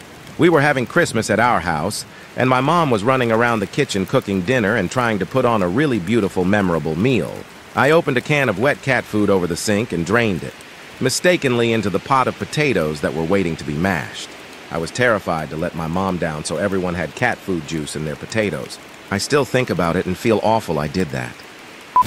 Account 6. My mother's boyfriend's dog was slowly dying. It wasn't my place to tell him differently. Anyways, I never really liked the dog all that much as I had to get rid of my childhood dog for his. But over the years, he grew on me more than the others in the house. During his last few months, I was the only one home during the days. It got so bad with the dog that I had to carry him in and out of the house to take a shit, if you could call it that. Also, he wasn't eating at all, one day I'm upstairs playing my video games and hear him whimper. Same as always, I told myself. I'll just finish up this game and go check on him. I missed it. I missed him. He died alone and in pain, holding on for every last second just to see his best bud come through the door one last time. He passed away on the landing in front of the door, waiting. Just put the game down. Account 7. About 10 years ago, I got my first and only tattoo, an 8-bit bat from The Legend of Zelda. The guy that worked on me looked like a straight up cholo badass, tons of tattoos everywhere, including a few teardrops on his face, slick black hair, tons of rings, etc., and I looked like the kind of kid that would get a Nintendo tattoo. Anyways, we chatted it up while he worked, and I learned that he used to be a gangbanger and he had served time in prison, but he had since gotten married and cleaned up his act, and now has two kids that he cares about a whole lot. A total family man. It was a cool experience, but in my naivety, I didn't realize that you had to tip your tattoo artist. I didn't tip him. I did it again when I went back a few weeks later for a touch-up. Double no tip. I work for tips now, and I know how infuriating being stiffed feels. I've always wanted to track him down and make good, but the tattoo shop is an hour's drive away, and I don't even know if he still works there. Gah, the crushing not really guilt. Count 8. When I was 10, my two-year-old cousin came to stay at my house. During his stay, he kept stealing my toys, so I got really angry. Then one day, he stole a toy gun from me, so I decided to chase him. Unfortunately, we were upstairs, so he went straight for the stairs and tripped on the first step. He went all the way down and banged his head on the radiator. Sometimes I just remember that day and think that it was all my fault. I could have prevented this. Or what if he had died? Account 9. When I was probably 10 or so, I was visiting my grandmother back in the homeland. She had a pet rooster who was very cute but very afraid of people. While my grandma talked to my dad and uncle, I chased this rooster around trying to catch it. I was told to stop, but I didn't. I loved animals and wanted to play with it. The rooster evaded me by running into a gap in the side of my grandma's well and fell in and drowned. They used the bucket to pull him out. My grandma was crushed because he was her only source of happiness and company. I totally ruined her life at that point. A year later, she was in a nursing home, and two years later, she died. I feel that if I hadn't done what I did, she would have lived longer. Pets help increase our lifespan, and I just shortened it. She was lonely and depressed, and it was my fault. 10. There was this kid back in 8th grade who was always very jubilant and energetic. He would always have a smile on his face and would never hesitate to tell one of his many made-up jokes albeit many of them were sincerely terrible.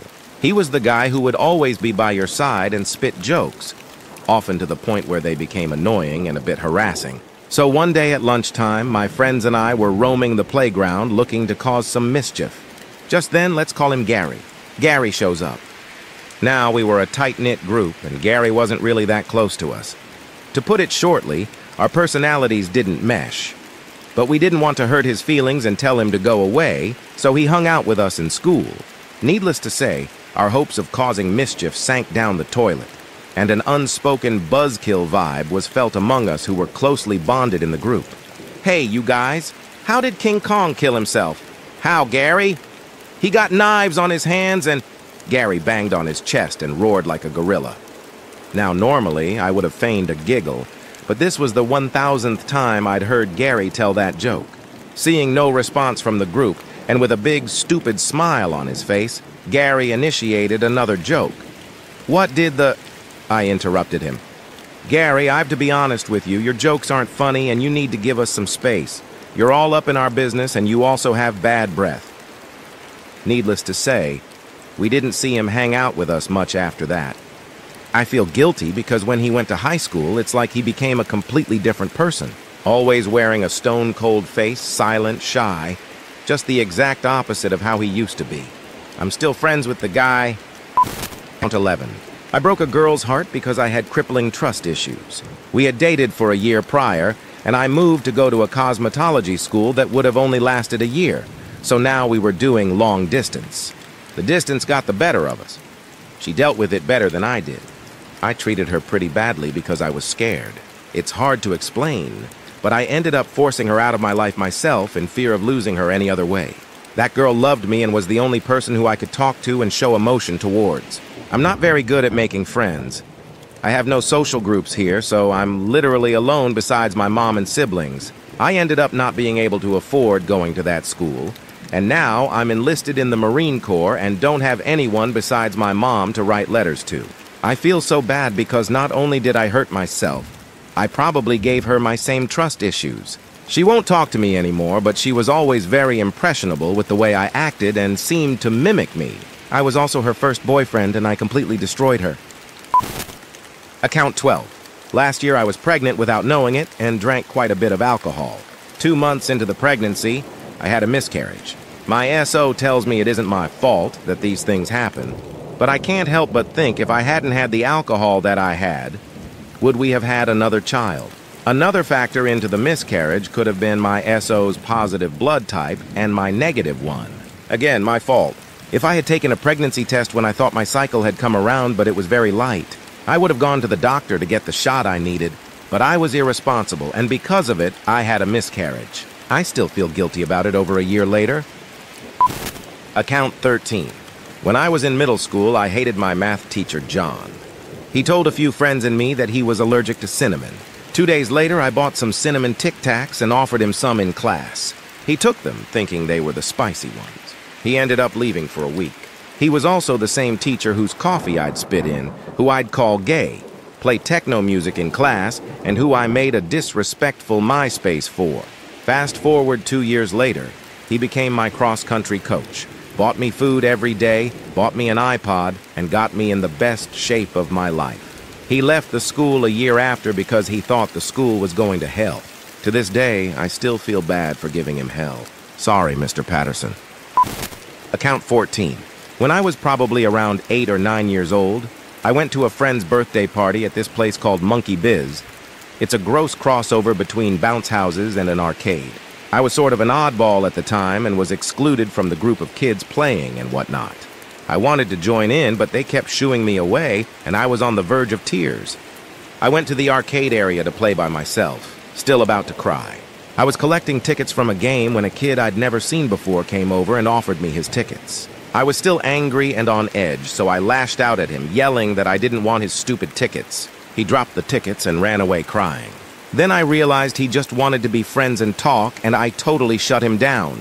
I cried the whole rest of the time. I still feel horrible to this very day. Account 15. Quite some years ago, I got this really awesome gift for Christmas. It was a huge Lego Harry Potter train, I believe, that you could duh build yourself. It was a really cool gift, but it wasn't what I had asked wanted. Not sure if I said specifically what I wanted. I made a huge deal out of it and cried a little. My parents returned the thing and got me the gift I wanted instead. Looking back at it, I was pretty stupid. Looking back, I was such a fucking spoiled, dickish douchebag. To this day, I cannot forgive myself for it. I'm 16. There was a girl I went to high school with, and it seemed like she had her own gravity for drama. Every day, she was crying over one thing or another. Most of the time, it was drama over boys or friends, along with other stuff like her health, family troubles, and her grades, which influenced everything, too. I genuinely felt bad for her and tried to console her through some of it. But I found it exhausting to spend so much effort listening and cheering her up when she didn't actually reciprocate as a friend for me at all, and still hung out with the same people who caused drama. One day at lunch, she had been crying, and her mom came to pick her up from the cafeteria. Her mom doted over her a lot, buying things for her and letting her stay home when she didn't feel like going to school. I said something to a friend like, Oh, Sandara's been crying again. Wonder what it is this time. Someone said, her dad died in a car crash over the weekend. And I just felt horrible. I still do whenever I think about it. Account 17. Five years ago, I watched my grandfather for 45 minutes as he took his last moments of life when his life support was removed. I had not talked to him in four years before that point. To this day, I still feel the pain in my soul from that last gasp of air. Before, I was a 25-year-old boy living with his mother, still sleeping in his childhood bed.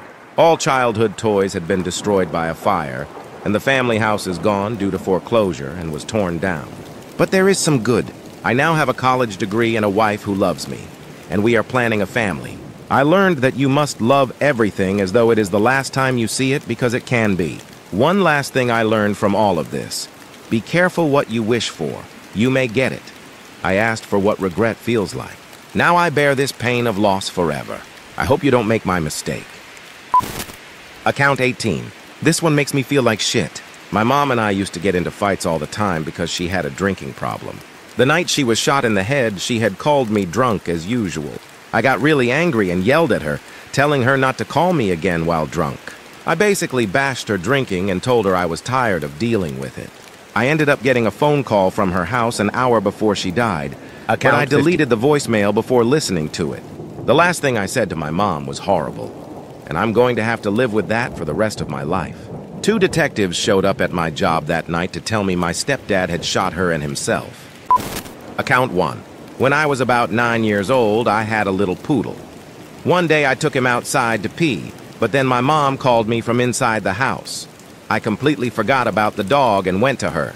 I never saw him again. Account 2. My grandpa was dying of cancer. I lived far away from him, so every time I saw him, he looked worse. On what I knew would be the last trip to see him, I decided that I wanted to hug him. Being nine at the time, I was terrified that cancer was contagious. So I gave him a handshake. A handshake. I hate myself whenever I think about it. Account 3. In seventh grade, I had moved to a new school and was in the popular crowd. The guys in the crowd would all gang up on this poor kid and pick on him all day, throw him against lockers, call him names, and just generally make his life miserable. The other girls and I would cheer them on. I never stood up for him, even though I knew what they were doing to him was wrong. I hate thinking about the pain he must have been in I hate that I did nothing to stop it and even went along with it. If you're out there, Milton, I am so, so sorry. Account 4. That I almost failed out of college because I was lazy and didn't study or do homework. And my parents thought I was doing fine. I was brought before the board, and the only reason I wasn't expelled was because my grandfather died the week before finals. Every other semester before, I went into finals behind on grades compared to the rest of the class. I would routinely calculate I need a C plus to pass the class, B to get a C average, and a 98% to clear a B in the class with no curve. Luckily, I am an excellent test taker and essentially always got a fantastic grade on the final, then followed it up with an email to the professor that was essentially, I know I barely did any homework, or just did poorly on it because I half-assed it all, but look how well I did on the exams, curve grade please. This almost always worked. The semester in question, though, I bombed most of my finals due to stress and anxiety finally overtaking me. I got two D's as final class grades and was put on probation and brought before the Board of Deans. Really, my grandfather passing is the only reason I didn't get dropped from my major, even though I probably would have done just as badly if he hadn't.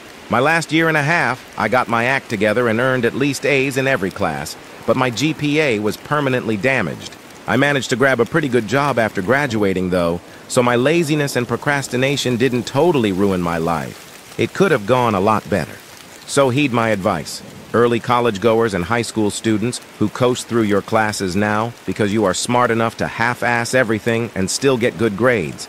It gets harder, and you will be in trouble if you don't learn to study and do homework now because it can totally bite you in the ass to take it easy now.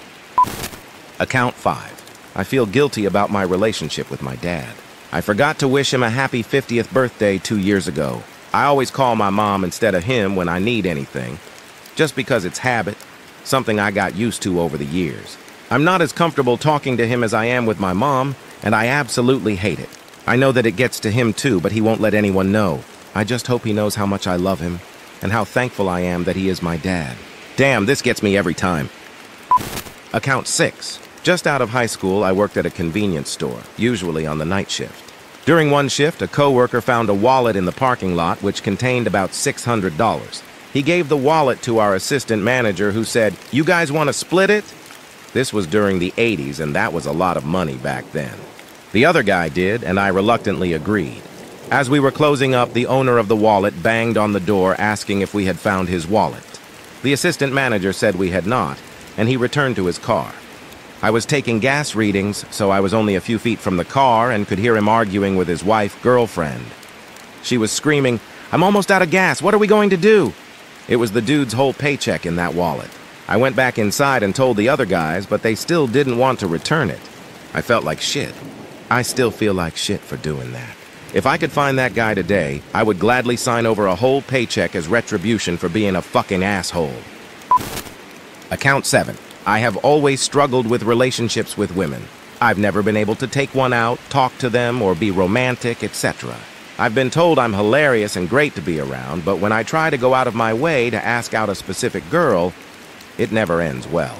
Over the past year, I dated a foreign girl studying abroad here in the States. We started to talk, and we really enjoyed each other's company. Eventually, I asked her out, and we went on a number of dates. One evening, after I took her out to a nice dinner, we went back to her apartment, lay in bed, and watched a movie.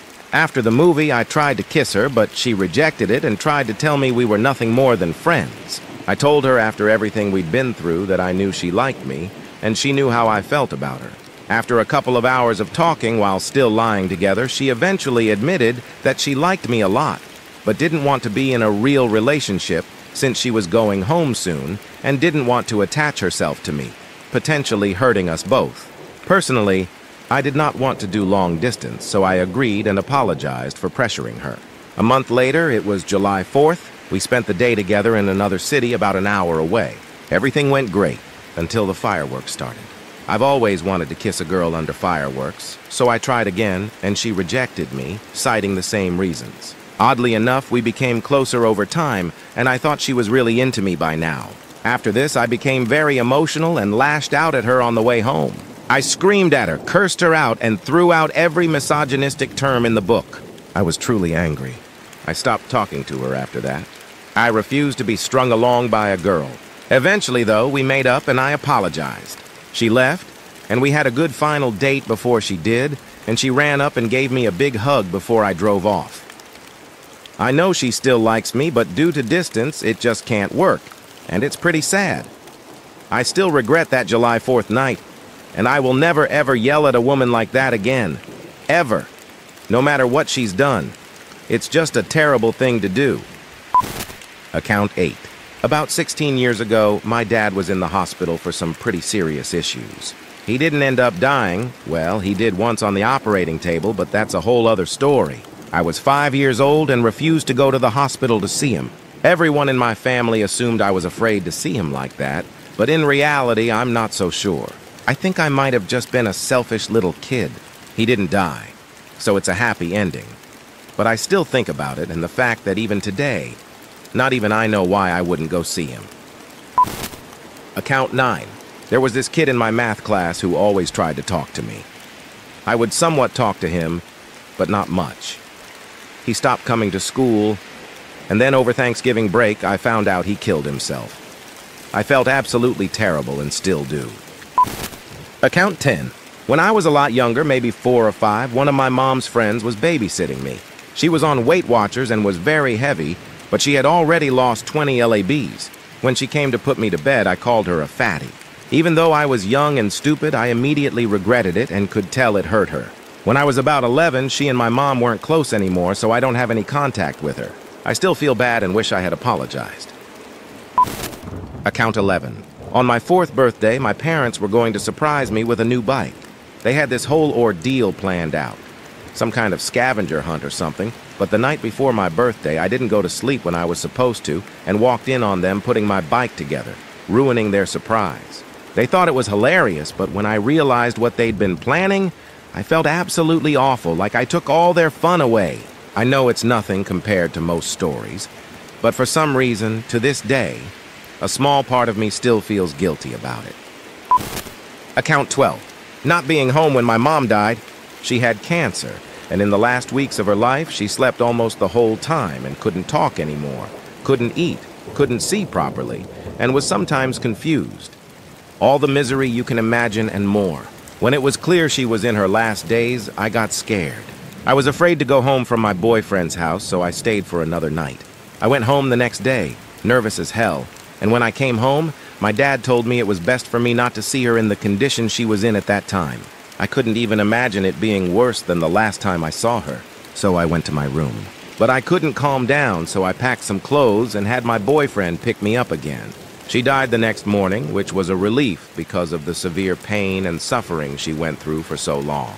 But to this day, I still wish she could reassure me that she was okay with my decision to run away when times were the darkest, to be away from her at that time. I know she'd understand, but I want to know for sure. She and I had a great bond, by the way. She was my best friend. Account 13. In high school, I dated a guy. We dated from the end of junior year to close to the end of senior year. Towards the end, we got into a huge, gigantic spat. During the arguing, he yelled and asked why I never went to any of his improv shows. I didn't respond at the time. I had never thought it mattered to him, even though he was really involved in theater. I never went to a single show. There must have been about 30 throughout the year. When he brought it up, I could see how hurt he was in his eyes. It made me feel pretty bad to think of all those shows that I skipped out on, where he was scanning the audience for me to no avail. After that, I realized I actually had the ability to hurt people more than I realized, because I had pretty much always assumed the victim role. It was eye-opening, to say the least. Account 14. I went to an anime convention once. I noticed they had a room with console games, and more specifically, saw they had MW3. At the time, I had only played it on PC and was pretty good with FPS games in general. So I sit back and watch this guy play the game along with two cute ladies in cosplay. This guy is obviously trying to impress them by constantly talking about how great he is, despite constantly getting killed in the beginning and going on about how the game is overpowered and stuff. The ladies are annoyed that they keep getting killed, so I casually ask the guy if I can try. He denies it, claiming that I could break the controller and he'd have to pay for it. Fair enough, I just watch. This lady, on the other hand, lends me her controller, and I end up finishing the level in less than a minute. They are impressed, the guy gets quiet and immediately leaves. I never see him again at the convention. I think I ruined this guy's chance of getting a kawaii cosplay girlfriend. Account 15. I'm not sure if this is a small guilt or just the definition of guilt. I had really bad teenage years. I put my parents through hell.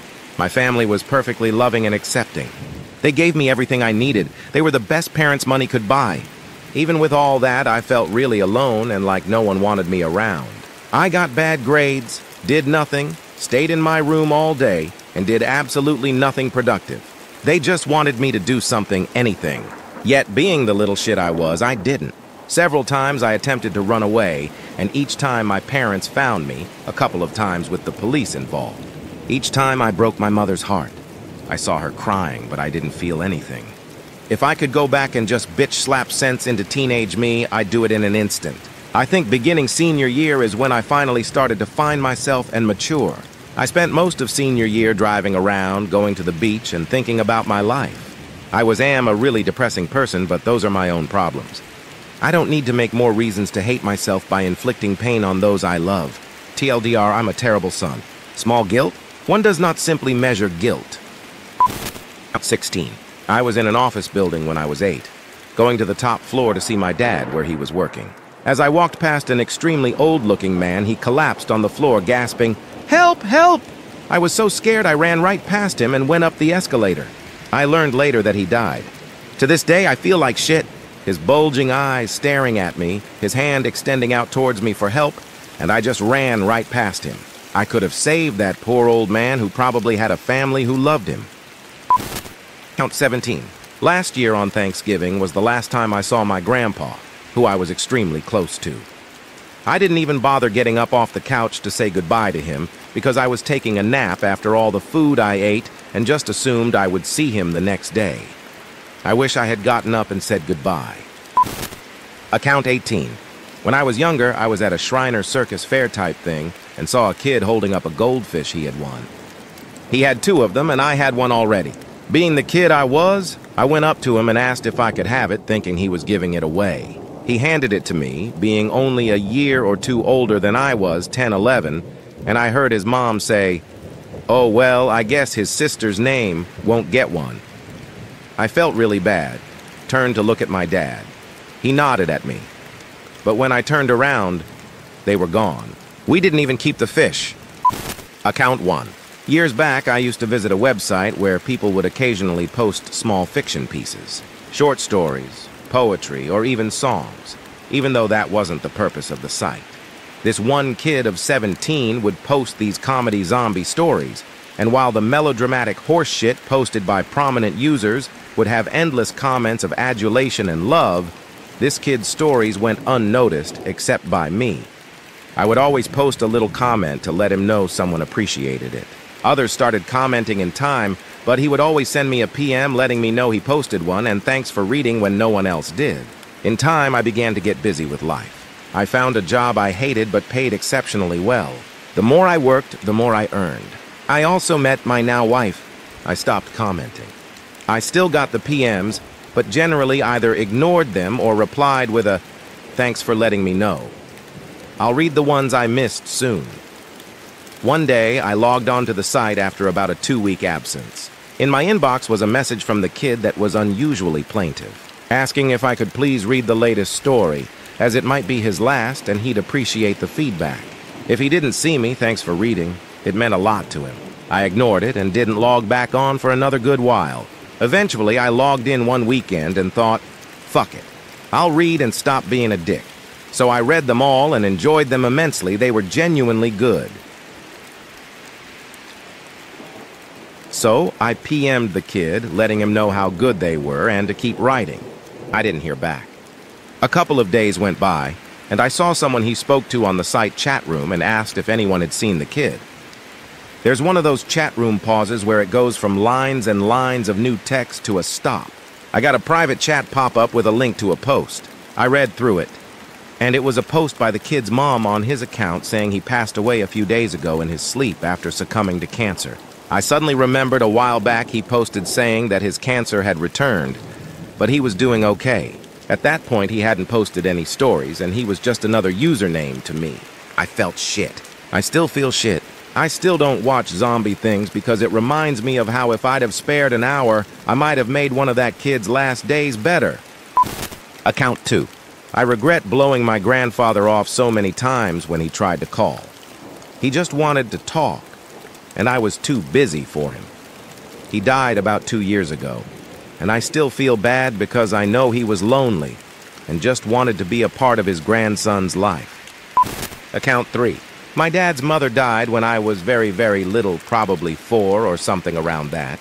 At the time, death was a ridiculously new concept. When I heard the news, it was nearly incomprehensible to me. People could die. My dad had a mommy like I had a mommy. Mommies could die? I remember sitting on my mother's lap when I was told the news, and my dad was standing in front of us. I remember repeating almost automatically and incredulously, Your mommy died? Your mommy died? Your mommy died? I'll never forget the look on his face, and I cringe in spite of myself whenever I think about how awful that must have been for him.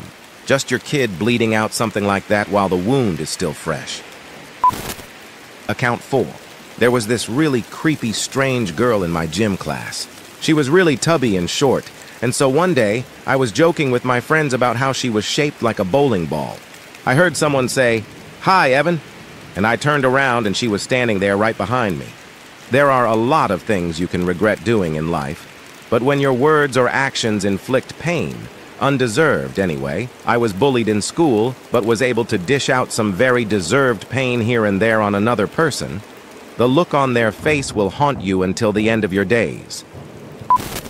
Account 5. I was just thinking about this, actually. When I was like 13, my dad lost his job, and my mom didn't work at the time, and we had to move out of our house and into a cheaper place. We had never been super well off, but we'd also never been completely broke like we were at the time.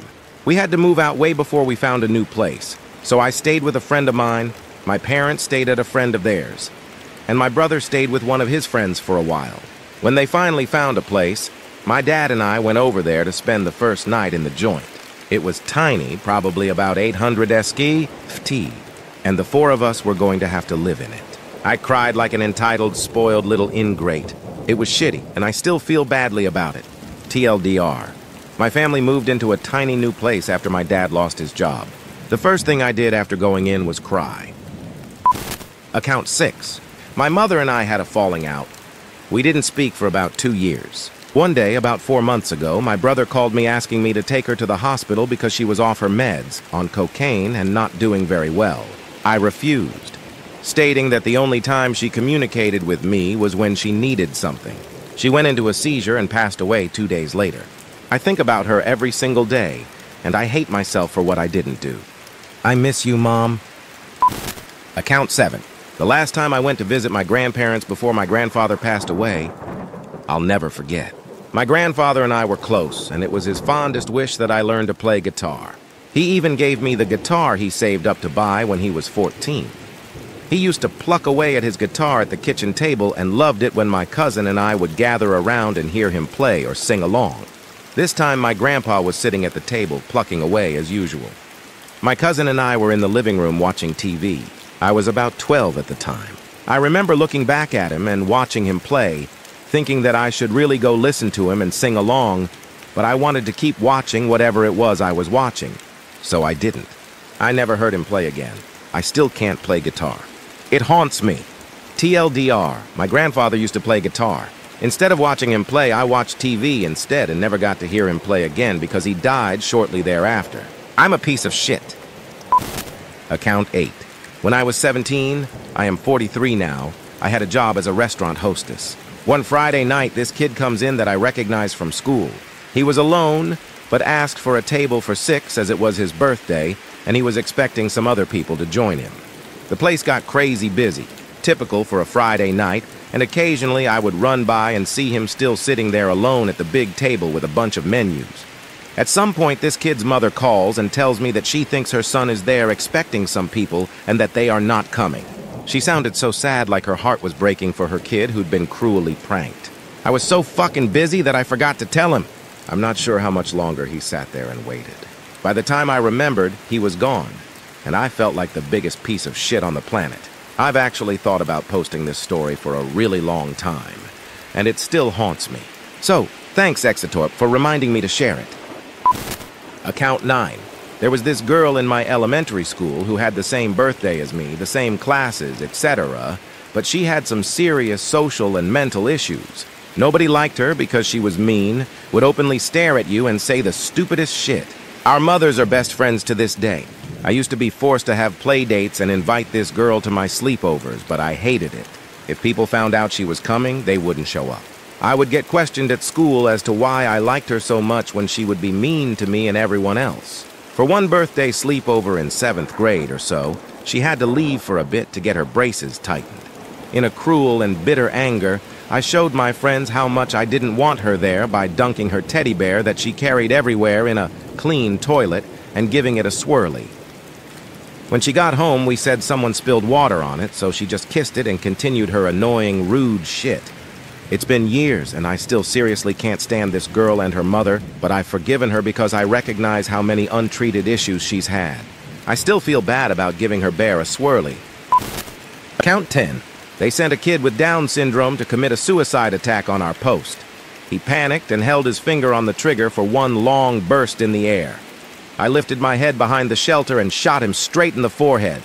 I am a nurse on pediatric ICU today because of it, but guilt is still keeping me awake many, many nights. Count 11. When I was a new teenager, 12, 14-ish, I used to play a lot with stuffed animals. I had a ton of them. I would make up stories for them and imagine a ton of different scenarios. Each stuffed animal had a backstory, and each play session was like an episode in the story. Pretty tame, but here is where it gets dark. I would use my dog as the bad guy by attacking him with the stuffed animals. He would fight back with the animals, so I sort of assumed he was playing along, but honestly, the way he snarled and bit the animals, he really didn't understand. He would end up trying to run away and hide in a corner, but I would follow him so I could defeat the enemy. Now I realize that I abused my dog. He would get mad and snap at my parents at times, and they didn't understand why. The dog was mine, given to me for my birthday, but after this, he stopped wanting to be with me. I started dragging him to my room so we could play. He died a few months ago. Account 12. About two years ago, I'm at home on a weekday because I had been unemployed for a few months by this point, and my doorbell rings unexpectedly. I open the door to see my occasional smoking buddy at my door, who lived one apartment complex over from me. As she was one to do once in a while, she asked to bum a smoke. This time was different, though. After I grabbed my pack, I could see that she'd been crying and had a washcloth covering her arm. I asked her what was wrong, and she immediately started crying, and her language became indiscernible. Since I was having trouble understanding what she was saying, she eventually lifted the washcloth off her arm and there were three large, deep cuts going across her arm. I immediately entered panic mode and tried to get information from her. Well, she tried to say many different things, but the phrases I could make out were along the lines of, My fiance did it to me, I did this, and my knife holder fell. When she couldn't get her story straight, I immediately told her I was calling 911 and that she should sit down and wait on my couch. I told the cops what was going on and where they could find us. Eventually, three squad cars and an ambulance showed up, asked us a bunch of questions, and then took her to the hospital. What haunts me about this situation is that I was the only person in the area she knew since she and her boyfriend were from out of state, and I barely even knew her. Because of this, I was the only person she could call to pick her up from the hospital. When I got there, I found out that she was still in her room and hadn't been released yet. She had gotten all of her stitches, but there was still a nurse talking to her. Shortly after I arrived, the nurse left to get the doctor and told her that she shouldn't leave because her cuts were obviously done with hesitation, in his opinion. I was stunned at this point, but I didn't speak up, and after a lot of arguing between her and the doctor, he said that he wasn't going to stop her. I drove her home, which was my biggest regret about this situation. Also, I let her talk during the drive home because she was still physically shook up. The only thing I said in the car ride back was that if your boyfriend did this to you, or is what caused this to happen, he isn't worth it. This is not what she wanted to hear, and she immediately stopped talking. After I asked her if everything was going to be okay, she said yes, but got out of my car angrily and immediately went into her apartment and locked the door. I never saw her at her apartment after this, and I didn't hear from her for three months after this incident. Eventually, I was outside smoking a cigarette, and she and her boyfriend walked up. They made some small talk or whatever, and she was all smiles. It didn't last long because I really didn't know what to do in this situation, and I never saw her again. Honestly, my biggest regrets about this are not going to the hospital with her, not making her stay, and not trying harder to check up on her after bringing her back. I wouldn't be surprised if people said that I'm a horrible person for not doing those things. But honestly, this was the only time I've ever been in this situation in my life, was honestly scared shitless about the whole thing, and was in such a panic that most of those options didn't even register. A few months after the last time I saw her, my landlord told me that she and her boyfriend moved out of town. I hope that she is doing all right. Account 13. In high school and college, I always felt guilty about asking my parents for money, even if the amount was just $5. We didn't grow up rich, so I hated asking my parents for money. I always tried to make it up to them by working hard in school. I'm in medical school now, but I still feel really guilty that one, I had to ask for money, and two, I perhaps did not go to a good enough school for them to be proud. At 14. When I was around 14 or so, I don't really remember the exact age, I asked my dad to drop me off at the movie theater with my friends. Being the generally awesome dad that he is, he happily agreed and asked if I needed any money for the movies. I said sure, and that I would be ready to leave in about half an hour after a shower and whatnot. I have to preface the next part of the story by briefly explaining how awesome my dad is. He works all the time and buys nothing frivolous for himself. He has pretty much never said no to something my sister or I truly wanted. It's not that he just bought us every little impulse item, but if we wanted something of substance, music lessons, skateboard, etc., he would always make sure we got it. He was the fun parent who would sneak us out to ice cream under the guise of running errands or throw us on his shoulders, even though he had just worked all day holding a camera on his shoulder. Anyway, so he is dropping me off at the movies, and on the way there he says, You know, it is my birthday today. I immediately felt terrible, as I hadn't even said anything, nor had my family done anything for him that day. I told him he could take me home and we could hang out, and that I was truly sorry. But he insisted that I go to the movies with my friends. When I got dropped back off at home by a friend's parent, he was hanging out alone drinking one of his most expensive bottles of wine. He loves wine. My sister was at work or something, and my mom was actually out of state at the time doing some business training thing. I hung out with him for a while, and he eventually wanted to go to bed. It was a pretty lame night. Looking back, I think it would have made him a lot happier if I had asked him to go to the movies with me, or said it was his birthday and we should do something together like order pizza and watch DVDs. Account 15. I haven't spoken to my father in seven years. When my parents got divorced, my mom convinced me he was an evil person, and that if I loved her, I had to hate him.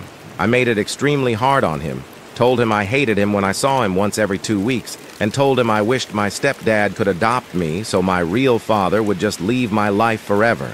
On Christmas seven years ago, he called to say hi, and I shoved it in his face. He was silent for a while and then said, Abe can have you, give the phone to your mom. Abe was my stepdad. That was the last time I heard from him. I feel awful about it. Count 16. One day, a carpet man came to fit the carpet, obviously. I was around 13. He was a very innocent, lovely man and a little bit mental. He was at my house all day. My mom made him a coffee, then went out. While she was gone, I offered to make him a coffee, and I just remember the carpet man's face lighting up in delight. I made him the coffee and left it on the kitchen side and totally forgot about it. Oh, the guilt. Account 17. Father got diagnosed with pancreatic cancer last December, nine months after I lost my mother to breast cancer.